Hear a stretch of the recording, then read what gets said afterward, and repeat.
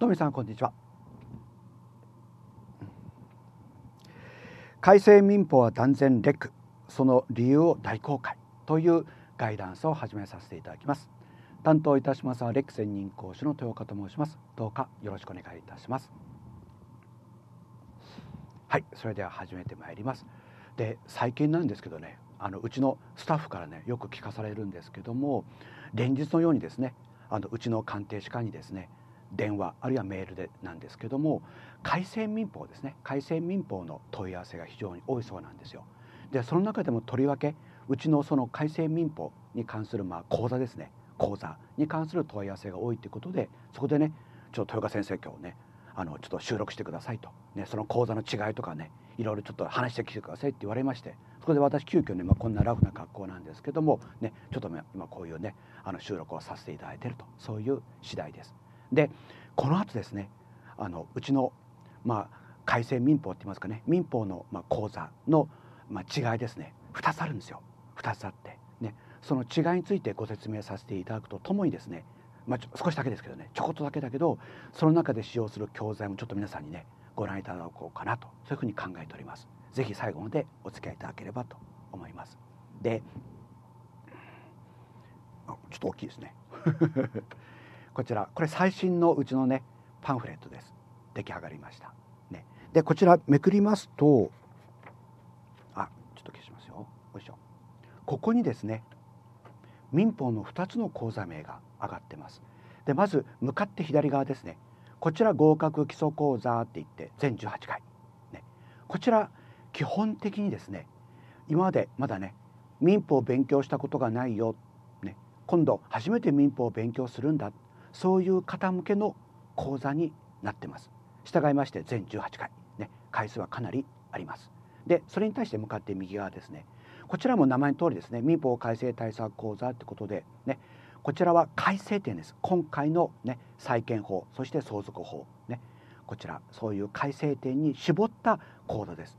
従いまして基本的にね基本的に一通り民法は今までね勉強したよ、ね、その上で手っ取り早く改正点を抑えたいんだ。そういう方向けの講座になってます。従いまして左の合格基礎講座と回数がもう全然違います。6回です。6回。ね。当然もう改正点中心です。もちろんあの周辺部分ですね。改正点以外の周辺部分についてご説明するね箇所もねありますけども基本は改正点に絞ってお話をしております。でちょっと使用する教材ですね。ちょっともう一回左側の方見ていただきたいんですけどこちら。合格基礎講座の方なんですけどね。こちら。これはねまずこの合格基礎テキストっていうのを使います。こちら。ね。で2点目がねこれも非常に有名なうちの売りのね教材になってますけど高掛け民法。これも当然お付けしてあります。で当然こちらもね高掛け。もう内容はねもう全部改正対応済みです。論証も変えるべきところは全部変わってますから。ね、でさらに3点目が条文集。当然ねやっぱ条文大事ですから。ね。基本的にこの3点ですね。この3点。ね。こちら。こちらを使ってこの合格基礎講座ですね。講義を行っております。でこの右側です。おそらくね今この動画をご覧になられている方のね多くの方がこちらもっとねあの聞かせてくれよと、ね、改正対策もっと喋れよと。ね、そういうふうなねあの気持ちでねご覧になられてるんじゃないかなと思います。でこちらのテキストはこれなんですよ。合格基礎テキストなんですけどもさっきご覧いただいたねこの合格基礎講座で使うこちらこの合格基礎テキストをベースにですね改正点こちら追加してありますそういう形ですですからこれねちょこっとお見せしますよまずこちらの元になっている合格基礎テキストの方なんですけども例えばね今回改正点の多かったこの帯番号6のようにですね差害行為取消権ね条文がねご覧のように今度3項4項が改正によって追加されてるんですけどこちらは基本的にねさっきも言いましたけども初めて民法を勉強する方向けの、ね、講座そしてテキストになってますから特にあまりねここ改正点ですよ、ね、その辺はあまりねあのなんていうんですかねこうはっきりとね分かるような形ではね載っけてないんですよ。もちろん講義の中で私一応喋ってます。この3項4項これ追加されましたよってことはね申し上げてますけどもとにかくねもう改正民法を前提にねその内容についてねどんどん解説してますんであまりね形の上ではあまり改正点ところは強調してないんですよ。ね、だけど戻りますよ。こちら。改正対策講座用になるとどうなるか。ご覧ください。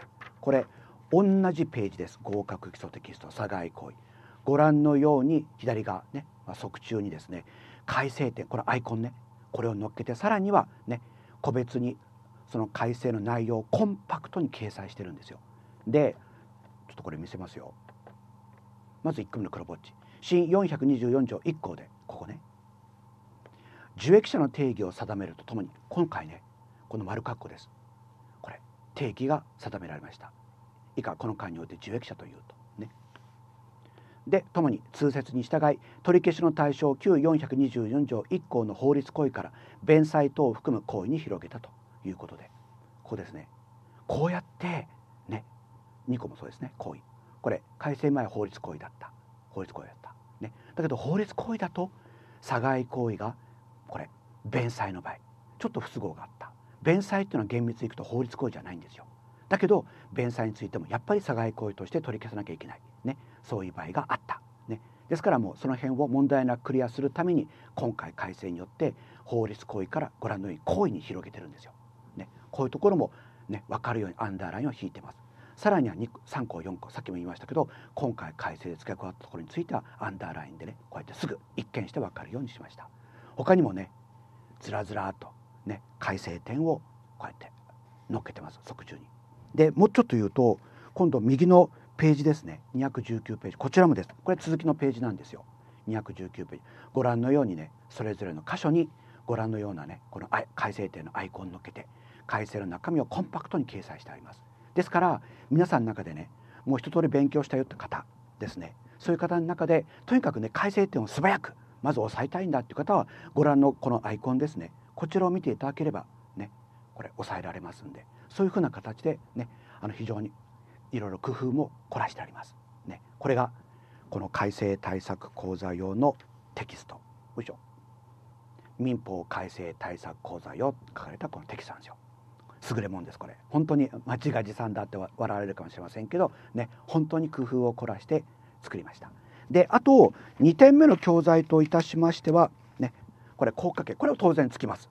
ね、これも合格基礎講座と同じく、ね、改正対策講座でもこの効果系は当然つけます。さっきも言いましたけどねこちらも当然も改正対応済みです。これもちょこっとご覧いただきますよ。例えばこれですよ139番敷金返還請求権の発生時期というもうこれは超がつく典型論点でしたね。それが今回改正によってご覧のように明文化されました。622条の2第1項1号。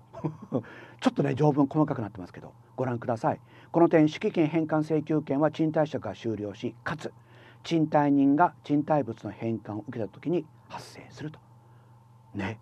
もう今までみたいな論証が不要になっちゃってるんですよ。条文当てはめるだけです。でちょっとねあの踏み込んだお話ちょっとしときますととりわけですねあの賃貸借ですね賃貸借に関しましてはね今まで論点と言われてきた部分について明文化された箇所が非常に多いんですよ。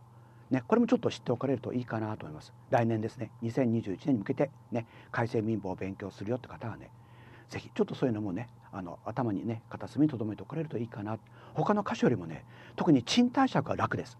あの改正前のねいわゆる論点と言われてた、ね、皆さんが一生懸命こうね解釈論書かなきゃいけなかったね、何々であろうか私はこういうふうに返するなぜならってあのいわゆる解釈論ですね。ああいう論証が不要になってますから特に賃貸借はその傾向が顕著ですね。でも逆に言うとね条文をしっかりと押さえていく必要性はね当然賃貸借の分野では高くなったなそういうことは言えると思います。であとは戻りますよ。これは効果けね。であと当然ねこの条文書もちろんつきますからねこれはもう絶対外せません。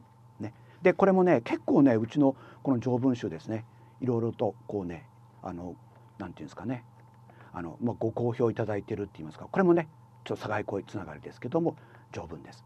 ね、こんな形でね真ん中でこう区切ってね乗っけてます結構ねこれ読みやすいっていうねそういう感想をねあの多く頂戴してますんでこれもね本当にねこの改正によってねあの明文化されてる部分がいっぱい増えてますから特に条文の読み込みの重要性っていうのはね旧民法化よりもね増してるのは間違いないです。ですから特にこの条文集これも非常に大事になってきますね。であと最後。これ3点目ね。条文集。3位は何かな？こちら。これ新旧対象条文。ね私はもうね対象表対象表を読んでますけどもこれもちょっと中身ですね。ご覧いただきます。これはねまた出ました。差害行為。ちょっとこれ付箋外しちゃいますよ。よいしょ。下の段。下はこれ旧民法です。だから結構もうシンプルだったでしょ。424条。1項と2項だった。3項4項なんかなかった。上が改正民法です。3項4項追加されたよ。お話しました。ね。改正された箇所についてもねこうやって線が引いてありますんで。特にね最初は特にこの改正民法を勉強する最初はね特にさっきのね3番目にご覧いただいた条文集よりも今ご覧いただいているこちらですね。この新旧対象表の方がねやっぱり皆さん多くお使いになると思います。やっぱりまずはね今までの旧、ね、古い条文がどういうふうにね新しい条文に変わってんのか。これをまず押さえなきゃいけない、ね、ですから最初はねこの新旧対象条文、ね、この新旧対象表の方をね是非しっかりと使い込んで、ね、ちょっと大変でありますけど、ね、下の段から上の段、ね、旧民法の条文から新しい改正のねあの改正民法の条文、ね、どういうふうに変わってんのかな？どの箇所が変わってるのかな、ね、そういうところをねしっかりと見ていってください。また講義の中でも私ねしっかりと解説してますから。よしですね。一応以上。ねこれが4点になります。結構ねあの教材はねいっぱいですけどもでも本当にねやっぱりこの改正民法ですねこの波をやっぱり乗り越えるためにはねやっぱこれだけの教材はやっぱり是非こなしていただきたい、ね、そういうことです。ね、でも戻りますよ。とにかくこちらのパンフレット戻りますけどもねこの改正対策講座はね全6回。あの1コマが2.5時間なんで、えー、と15時間ですね。15時間。で一通り。改正民法を抑えられますんで。ね。もうなかなか皆さんねもう時間もない、ね、他の科目もやんなきゃいけない、ね、そういう中にあってこういうね改正民法を抑える。そのためにはねもう本当にこの全6回の改正対策講座が絶対のおすすめだというふうに思っております。であと時間がありましたらねあのこちらのパンフレットですねいろいろね今回の改正民法についても載っけてあります。いろんなねこの背景。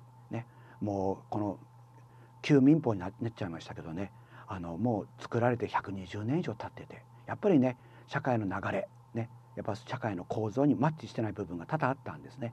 でさらにはいわゆる解釈って言われてる部分にあの委ねている部分も多くてなかなかねあの一般国民の方にわからない、ね、解釈って言われても結局弁護士とかに聞かなきゃわかんない。そこで今回ですねできるだけ明文化してるんですよ。条文化してるわけ、ね、今まで解釈に委ねていた。判例はこう言ってる。あるいは学者のね通説はこういうふうに考えてる。そういうふうにねいわゆる解釈に委ねられてた部分ができるだけね国民の目で見て分かるような形ってことで明文化条文化されてるんですよ。ただその一方でねまた皆さん勉強をね始められたらお感じになると思いますけどちょっとねちょっと分かりにくいなそういう条文も決して少なくありません。さらには数も増えてるんでちょっと勉強しなきゃいけないねあの量ですねこれもやっぱり増えてるっていうのも現実です。ね、だからこそねぜひレックのこの改正対策講座ですね。これをうまく使って短時間で短期間で改正民法を抑えてください。いいですね。もうこちら本当に絞りに絞ってね皆さんにね本当に大事なポイントだけをちゃんとお示しできるようにさっきもご覧いただきましたね。テキストもそう。ね。あと効果けもそう。ね。さらには新旧対象表もお付けしてますから。これを使っていただければね本当に短期間で改正点抑えられますんで是非ねご利用いただければと思います。じゃあ以上で終わります。最後までご覧いただきましてありがとうございました。